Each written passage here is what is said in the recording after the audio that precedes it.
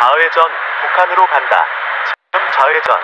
그러나 우리는 방금 출발했습니다. 왜 그럴까요? 말했듯이 우리는 북한 지역에 있습니다. 우리는 대한항공 007편처럼 되고 싶지 않습니다. 이제 왼쪽으로 가십시오.